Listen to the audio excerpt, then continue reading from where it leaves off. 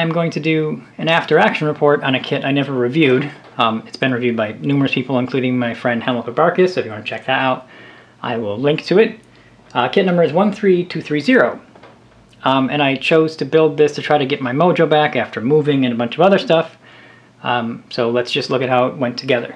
This August I was lucky enough to get to drive around in one and uh, kind of play around with the inside of it and um, you know all around get to know the thing a little bit better than I do most German armor on account of I've never been near anything other than a Hetzer. So Hetzer is kind of like, apart from Tiger, becoming kind of special to me. It seemed natural to want to build a Hetzer when I was trying to get the mojo back because man, it really goes away when you have no space. So, all right. So famously, this kit is relatively easy to put together. Although you may not know this, I have messed up a couple of Academy armor kits uh, that I did as reviews because I make mistakes. This one, however, went to plan. So um, they start out with um, the lower bogey stuff, so you know these little bogies getting attached to the hull, super easy. Um, really, really simple stuff. All the springs, the way that the uh, uh, like where the sprocket mounts and the idlers and everything, super simple, very low part count, nothing to talk about. Um, the wheels are actually pretty good. Um, notably, I've discussed with um, anybody that's built Hetzers, you know, what the, the good kits are, and apparently the Edward one, which I have with the interior, has weak, uh, poorly molded wheels, so it has some limitations. If I build that, I plan on swapping in some wheels from uh, a Waffenträger I have. But all this stuff was good. You have choice of using um, different idlers, which I think is kind of fun. I had the same kind on here, what it called for. So the tracks are very early on in the build, and they are link in length, and mine went perfectly for once, which was great. Um, nothing really to complain about. How I do them is um, I just do the singular ones, which go around the sprocket and the idlers, like magic tracks, and I glue that to the large, stiff, uh, you know, these long pieces here. Basically, just do it like magic tracks, just keeping my eye on where these parts are. There's a large um, run here, and then this one and this one. So it's relatively easy as long as you get those kind of spots in a position, like let's say this kink between these two pieces, as long as that's there, everything else will pretty much wrap around.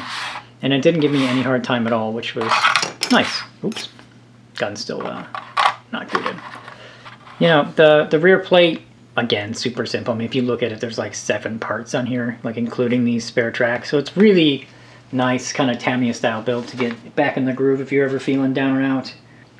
Then we got into like these doors here. There's not too much to it. Um, obviously this tiny little piece of photo etch, um, the spare tracks and the exhaust pipe is really quite simple. Now I did make one change, which is they have you put in the sight and the, um, the scissors periscope, which looks a little frumpy. Um, it's like pointing a little bit that way, but it's alright. Um, I used a dragon sight for the gun, and you can't see it now, but I actually kind of glued some pieces in together to hold it correctly because the piece they have you use for the sight, um, one isn't clear. I don't know that I'll mask it, but this one is a, a dragon clear one.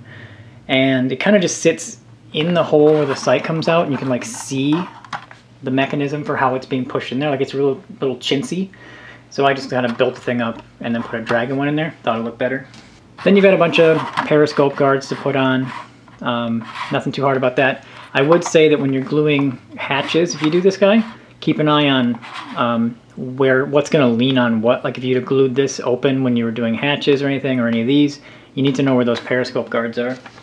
The jack is a little bit less complicated than a dragon piece, but it's fine. Um, I have my uh, attachments for the side skirts on, but not the side skirts themselves. For now, for painting, but I might leave them off anyway, because I'm not terribly fond of how a Hetzer looks with them on. The gun assembly is pretty simple. I mean, you can see in here, there's not a whole lot of like realism to it. Kind of just like a counterweight size thing and you know it moves around kind of like a Tamiya gun would but it's okay. Um, the barrel does look acceptable so and there are two different ones in there. Then really you just have this um, the remote MG which actually gave me a little trouble. I think I was just I think I did most of this in one day two separate days I think so um, it just was a little bit more complicated than the rest of the build um, not compared to like a normal build, but I was just being kind of derpy that day. Now one specific thing that I did that's not required in the kit, I drilled out all the holes in the toolbox. I think that looks a little bit nicer than it did, because um, that's what they really look like. So that's one thing you can do. And then my one gripe, and I, I didn't notice it until it was too late. If you look here, so these white marks are nothing. You know, those aren't actually there.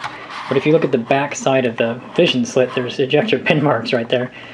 And I was just on autopilot and glued it in and didn't see them until they were already on there. And I was like, well, I can rip it off, but meh. That isn't even a hole into the hull, which I wish it was. This is like just a little notch that you glue that into. So that's a little bit unrefined. But overall, I think um, it looks like a Hetzer, so it's fine with me. And it was relatively easy, and it did get me back in the groove in a big way um, because I, I, went straight from that into finishing the Sherman uh, and then into the Scharnhorst, which I'm working on now. So like, it's a nice little step build. So overall, I think this thing is actually uh, pretty excellent.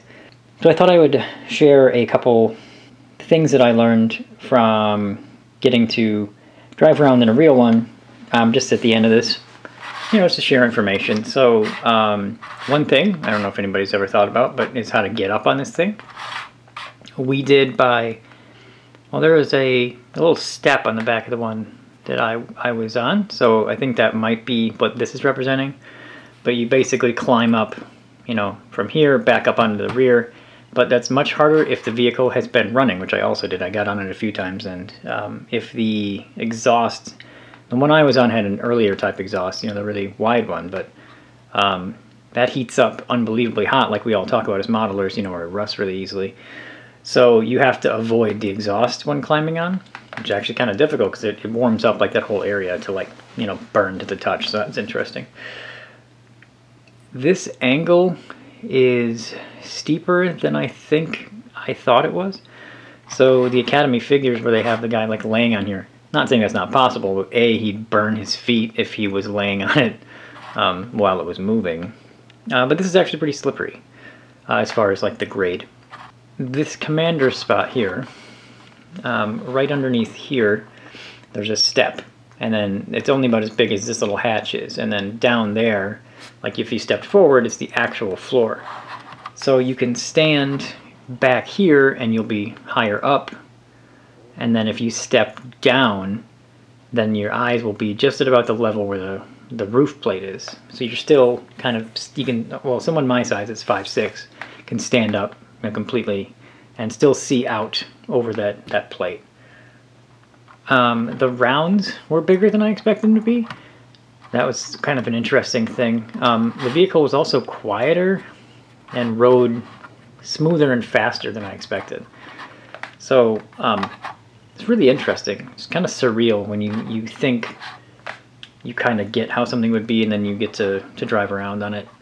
Um, one really, really interesting thing that um, Mark taught us when we were playing around with this thing is that right in front of the scissors periscope there are buttons that you, if you're standing in this spot, you press that tell the driver which way to go because he can't see very well. He's just seeing through that, right? So the guy with his head out here, and especially in the case where we were, um, in, a, in a residential street, uh, whoever's standing here can direct the driver by telling him which direction to turn or to stop. Yeah, he just presses like buttons and then there'll be an indicator in front of the driver and then he'll just turn this way. This is especially important when you need to, uh, in the case of where I was, we drove it back to where we were, and then we needed to back it into the woods, which is kind of fun because it's sort of an ambush position. But we had to back it into the woods, um, and there's no way to do that other than someone directing the driver, because the driver certainly can't see backwards. So someone needs to stand there um, and look backwards and then direct the driver with those buttons. So those buttons are right there, and the driver's down here.